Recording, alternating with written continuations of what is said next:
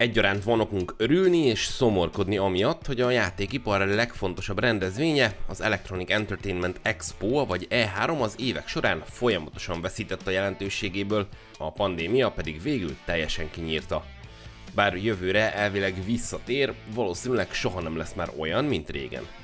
Néhány évvel ezelőtt még izgatottan készültünk arra a néhány júniusi napra, amikor estétől reggelig figyeltük, hogyan próbál a többieknél nagyobbat villantani az Electronic Arts, a Ubisoft, a Nintendo, az Xbox, a Sony és a Bethesda. Ennek önmagában meg volt a varázsa, nem kellett hajnali háromkor kávéznunk ahhoz, hogy ébren tudjunk maradni, hiszen sorra jöttek az izgalmas bejelentések, dobogott a szívünk, miközben írtuk a híreket. Nem gondoltuk volna, hogy egyszer visszasírjuk majd az éjszakai műszakot, és inkább azt választanánk a helyet, ami most van. Most ugyanis mindenki elkezdte a saját útját járni. Az Xbox és a Bethesda egy összevont műsorban beszél az újdonságairól, a Sony már rég kiszállt az E3-ból, és újabban inkább előre összevágott digitális bemutatókat tart hol érdekesebb, hol teljesen érdektelen tartalommal. A Ubisoft júliusra tette át a műsorát, az EA pedig idén nem akart semmit mondani, pedig elvileg még egy Need for Speed is jön majd ősszel. A Nintendo talán június végén jelentkezik egy direct de még azt is csak plegykálják, nem erősítették meg. Geoff Keighley műsora a Summer Game Fest sem ütött akkorát, mint azt vártuk volna az utóbbi évek The Game awards után. A többi előadást meg minimálisan érdekes indie alkotásokkal töltötték fel, néhány tényleg ötletes cím mellett, úgyhogy nem volt könnyű dolgunk, amikor 10 érdekességet akartunk választani. Egészen a június másodikai State of Play-ig nyúltunk vissza, ami valószínűleg nem a Sony egyetlen nyári műsora volt, ha mást nem, hát a God of War Ragnarököt még muszáj lesz megmutatniuk, de már ezen is villantott érdekességeket a kiadó. Jöjjön tehát a 10 legérdekesebb bejelentés és bemutató a nem E3-ról. Olyan őrült módon pörgetik a The Callisto protokoll marketingjét, hogy szinte el is feledkeztünk a jövő év elején érkező, egészen hasonló Dead Space remake-ről. A hasonlóság nem véletlen. A Callisto-t ugyanaz a Glenn Schofield rendezi, aki a Visceral klasszikusáért is felelt. A játék felbukkant a State of Play során, ahol elárulták a megjelenési dátumát, majd a Summer Game Festen és az Xbox előadásán is láthattuk a játékmenetét, és egészen fantasztikusan néz ki, iszonyú véres és erőszakos lesz. Az akció horror rajongói semmiképp ne hagyják figyelmen kívül.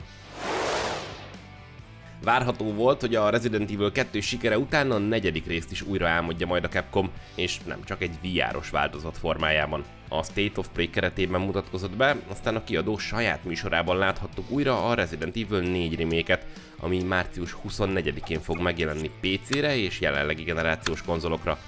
A fejlesztők igyekeznek megőrizni az eredeti játék eszenciáját, de a látványt, az irányítást és a játékmenetet is a mai kor igényeihez igazítják. Legalább annyira várjuk, mint a Resident Evil Village Story DLC-jét.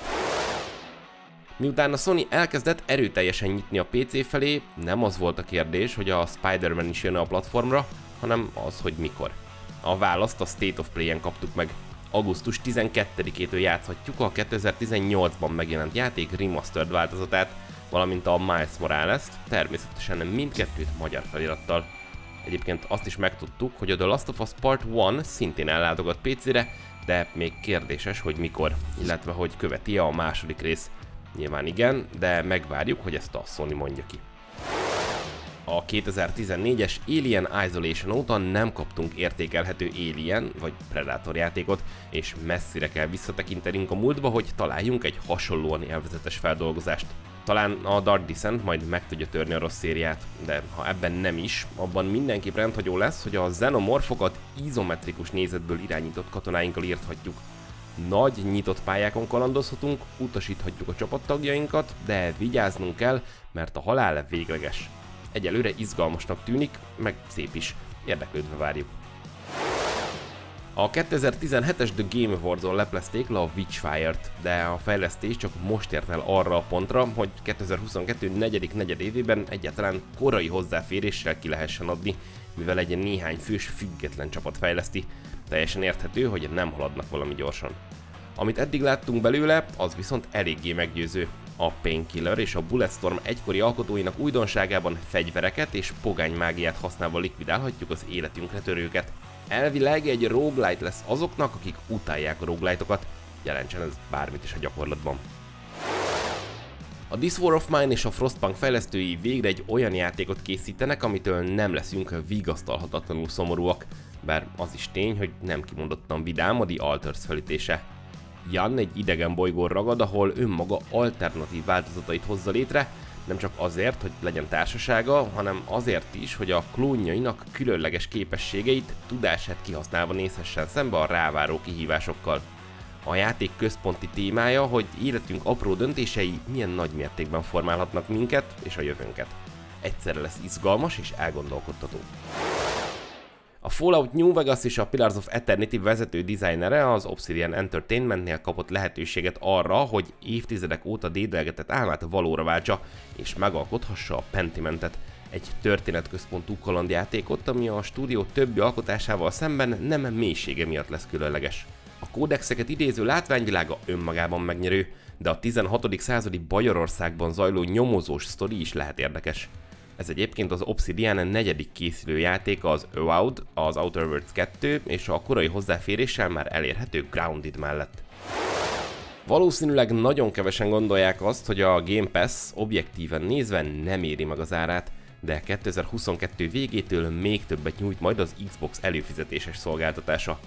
A Riot Games-el kötött megállapodás értelmében az előfizetők a League of Legends, a League of Legends Wild Rift és a Valorant összes karakterét további költségek nélkül azonnal elérhetik. A Legends of Runeterrában Foundation szettet oldhatnak fel, a Teamfight Tacticsban pedig bizonyos Little Legendek válnak elérhetővé a számukra. Az ajánlat PC-re és mobilra egyaránt érvényes. Azt még nehéz megmondani, hogy jó játék lesz a The Lord of the Rings Return to Moria, viszont a koncepciója kétségtelenül érdekes. Kraftolós, túlélős játék lesz, mely középföldön negyedkorában játszódik. A törpök elindulnak, hogy visszaszerezzék otthonukat, Móriát, a játékosok pedig őket irányítva közös erővel tehetnek meg mindent a túlélés érdekében, miközben rejtélyes veszélyek leselkednek rájuk. Egyaránt kíváncsiak vagyunk arra, hogy túlélő játékként milyen lesz, és arra is, hogy mennyire tudja majd elcsábítani a gyűrűk ura rajongóit. Szállított már nekünk néhány különleges játékot a Rick és Morty alkotói által létrehozott Squanch Games, de a High on Life tűnik a csapat eddigi legnagyobb projektjének. Egy űrben játszódó FPS lesz, amiben az emberiséget egy földön kívüli kartel drognak akarja használni, de mi szerencsére folyamatosan Justin Roiland hangján pofázó fegyverélőlényekkel felvértezve szállhatunk velük szembe. Abszurd humorra és könnyed játékmenetre számíthatunk, Roiland-től nem is várunk mást. Nektek mi tetszett a legjobban? Írjátok meg kommentben. Ha tetszett nektek ez a videó, akkor bátran dobjatok rá egy lájkot, amennyiben korábban még nem tettétek volna, meg iratkozzatok fel a csatornánkra, és bökjétek be a csengőt is, hogy értesítést kapjatok a legújabb anyagainkról. Ha esetleg támogatni is szeretnétek a munkánkat, akkor a csatornatagság vagy a szuperköszönet funkciók segítségével erre is lehetőségetek van. Hamarosan újra találkozunk. Sziasztok!